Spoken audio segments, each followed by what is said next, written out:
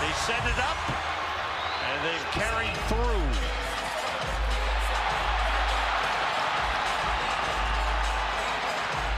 Two big guys This going is- at it, boy. This is a big guy battle.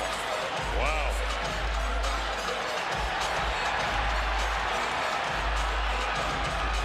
Well, an advantage for the Ranger. Rempe had no helmet for uh, Johnston, so those punches are going to hurt a little more when they land.